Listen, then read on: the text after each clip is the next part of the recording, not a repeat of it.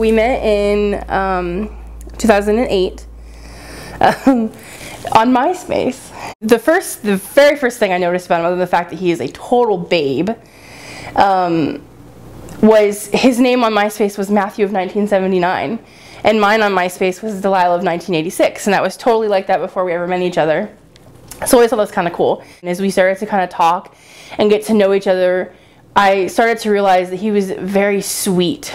Um, and he was very loving and a great sense of humor. He is, does the, the funniest impressions, and not a lot of people get to see that.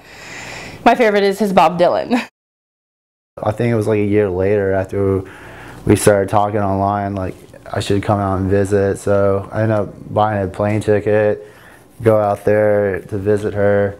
I remember she brought this sign that says "Welcome to Louisville." Kind of cool because I never had anyone like make the time to like do something special to welcome me to like visit a city or, or state. You know, first real date um, was the day when I first got there. Like when we were at this art gallery, we were just like hanging out, just being goofy and just enjoying the day and stuff. And then uh, I just knew like the more I got to hanging out with her, like I can really truly like see myself being with her the rest of my life. You know, I even remember some of our phone calls. Like I told her, like if you know, you're the first girl I ever met that is like almost like a female version of me. And I, I just as cliche as this sounds. It's almost like he was the male version of me and I was the female version of him. We had so much in common, so many of the same bands and music, you know, um, and art and just um, it's actually really funny.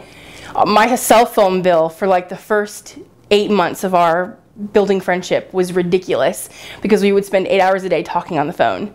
Um, and that was after we'd spent so many hours talking on on uh, on the internet. The first time Matt actually like asked me to be his girlfriend, um, we did it really traditional. He came to my work and it was he stood in the doorway and he was like, "So I like you." I'm not even kidding. I'm complete quoting.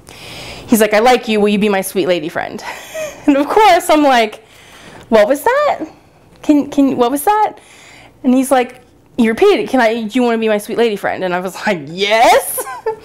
Which I think that is the sweetest, awesome, best, coolest way to ask someone to be their girlfriend or be your girlfriend. You know, like Dalila was like like the first girl I ever met that actually just you know I could call my buddy you know and just like it, it just developed from that you know just being someone that you can really trust and believe in and not just like someone like you're just trying to be a phony to, to impress like because I want someone that was real and loved God and have fun things but even when you have uh, you know a frustrating day with someone, you can still love them unconditionally, and like those are the things that me and Dalila always do. Um, the church that we were going to here in Indiana um, had a Friday night service once a month called Crave, and it was a worship service, and it was where people you would just get together. Um, and you would worship. There was no agenda. And i'm sitting down in a chair and i'm praying and i just i just look over.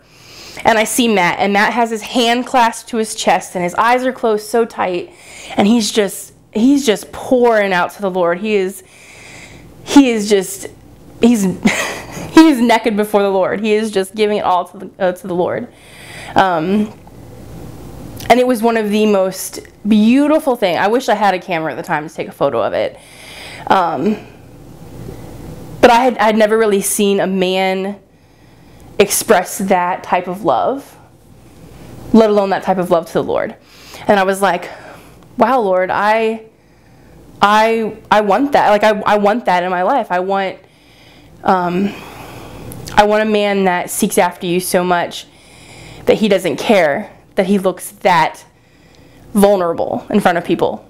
Me and Dalila are together. It's just like I could trust that she's got my back. She's always encouraging and loving. And it's just like I know deep in my heart, you know, Dalila is the one because she gives me peace and just uh, balance out my crazy fearful life all the time. And so I don't really know if there was one specific time where God said, this is who I have for you. I really think that it was because I love you and because I'm trying to show you that I love you, He is a gift that I've given you. Matthew has just always been a constant. He's, he's never stopped loving me, he's never stopped pursuing me. You know, he's, he's always telling me, I'm not your dad, Dalila. I'm not, you know, the past man in your life. And so Matthew has really forced me to realize that I'm worthy of authentic love. And I really think that's something that the Lord has placed him in my life for. I know I don't say this much, but I do love you. And I hope I can lead you and protect you and provide you like how God wants me to, to be an example of that. And the more I see you and seeing what a godly woman you are, I see Christ in you, and that makes me want to fall in love with you more each and every day. It's like so cool how God makes me see Christ in you each and every day, even though the days that you feel not attractive or days that you just want to be left alone. Like God wants me to like pour His love on you and and, and be that person to just pray for you and be encouraging and and and lift some of the bears in your life, you know. And uh, someday we'll love to have awesome children, you know. That and I know you'll be a godly woman and a mother and a musician or just whatever the things that God wants to promise you. He just wants you to to experience His love. Um, I know that some things like you struggle with, but you know God wants me to be that mantle to